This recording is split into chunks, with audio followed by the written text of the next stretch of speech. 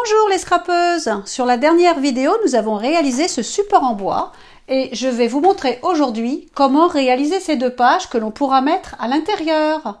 A tout de suite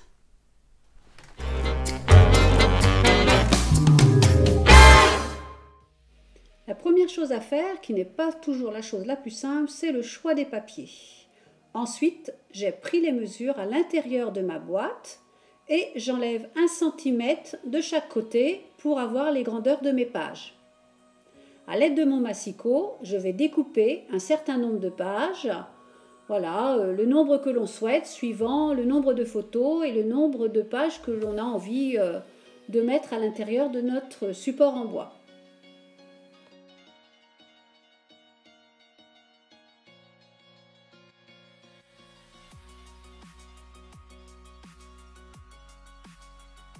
J'ai maintenant découpé un certain nombre de pages, mais surtout gardez bien les chutes, elles vont nous servir pour des embellissements.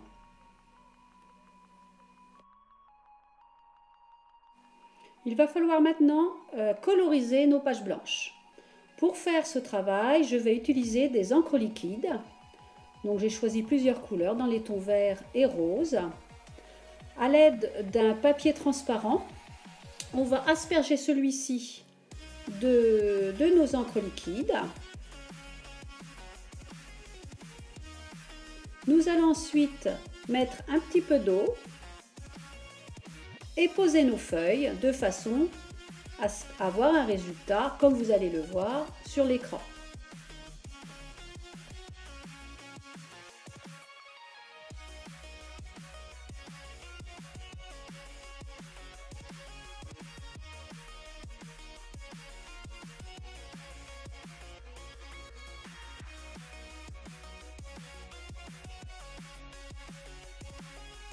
En attendant que l'encre sèche sur ces feuilles, nous allons faire euh, une décoration sur une feuille imprimée. Donc j'ai quelques embellissements, des photos que j'ai imprimées, de la webcam et un pochoir. Et je vais poser de la pâte de structure pour faire un effet relief sur ma page.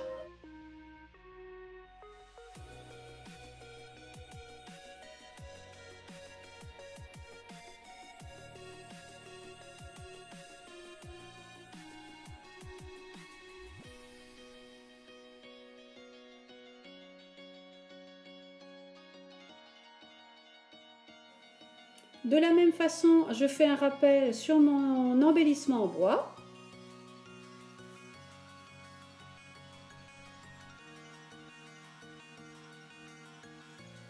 Et comme je suis bien lancée avec ma webcam, eh bien j'en ai mis également sur le devant de mon support en bois. J'utilise ensuite un tampon et de la versafine pour écrire un petit mot sur mon embellissement en bois.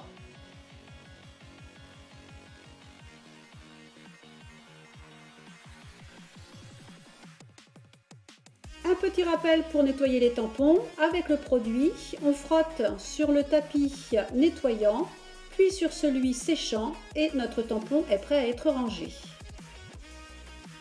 Lorsque je pose des photos dans un album, je préfère avoir les coins arrondis.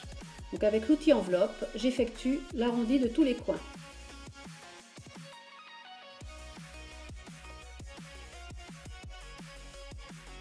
Maintenant, je réalise avec des dies étiquettes deux découpes, une dans un papier d'emballage et l'autre dans une feuille de livre que j'ai découpé dans un dies d'une grandeur supplémentaire. Je les superpose et euh, je vais sans doute mettre une petite ficelle. Je mets une ficelle pour agrémenter un petit peu ma décoration.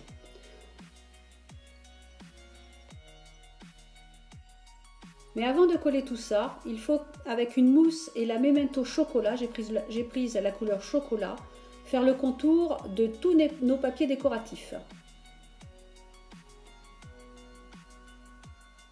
Le contour également de notre embellissement en bois et de notre feuille principale. Passons maintenant à la phase collage.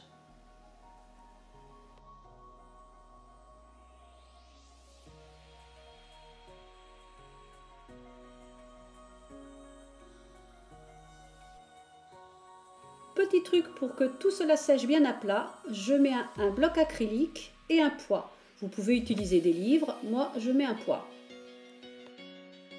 Occupons-nous maintenant d'une page euh, agrémentée, colorée avec les encres liquides. On va les coller dos à dos pour qu'elles soient bien épaisses et euh, colorées des deux côtés. Nous allons utiliser dans un premier temps les découpes lettres Scrap Plaisir. J'ai décidé de découper le mot mère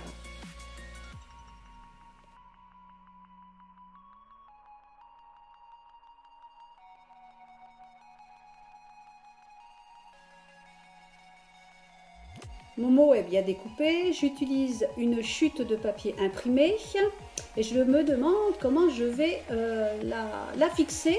Eh bien, je vais faire une couture. Je ne suis pas une grande couturière, mais pour ce petit, euh, ce petit travail, je pense que je devrais m'en sortir. Et je m'en suis sortie d'ailleurs.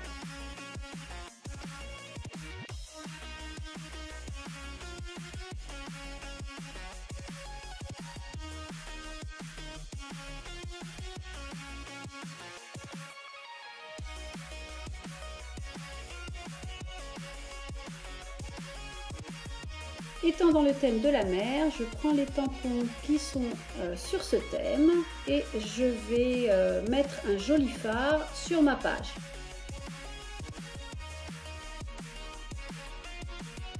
Alors, on pense toujours à faire les contours avec une mousse. Cette fois-ci, j'ai utilisé un bleu foncé.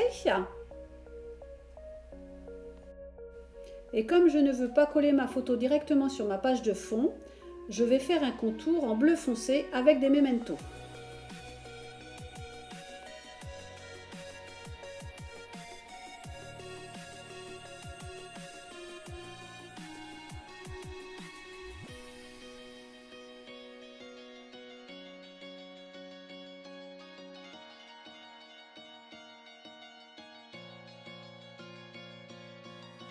Et puis à nouveau, j'arrondis les angles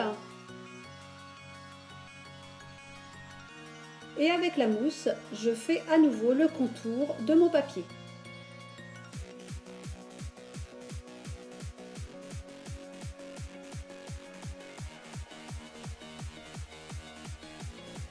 J'ai choisi un autre tampon que je vais positionner en bas de ma photo.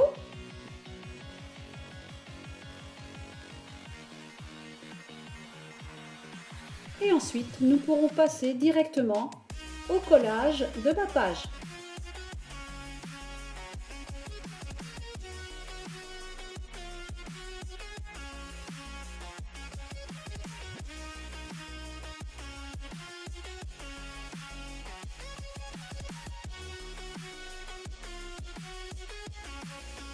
Nous faut maintenant percer des trous pour insérer les pages dans notre support en bois. Pour faire ce travail, j'ai un nouvel outil, une cropadille qui va me servir à percer et à poser les œillets.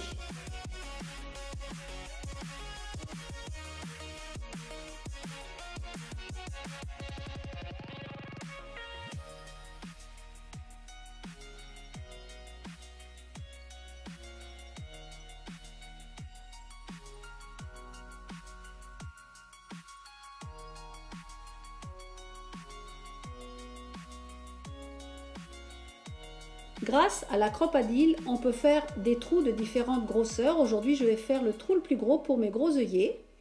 Et cet outil permet d'être exactement sur le repère. On voit par un percement exactement où l'on perce. Et comme vous pouvez le voir à l'écran, l'outil est très simple d'utilisation pour fixer des œillets de différentes grosseurs.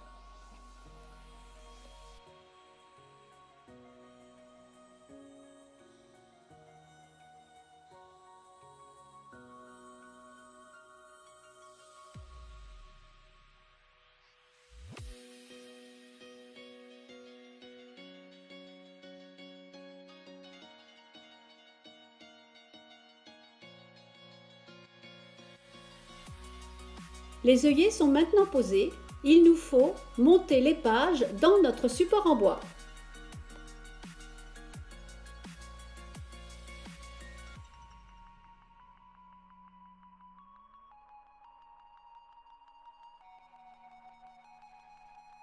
Cette vidéo est maintenant terminée, j'espère que cela vous a plu. Surtout, n'hésitez pas à me mettre des commentaires, des pouces bleus et on se retrouve bientôt. Au revoir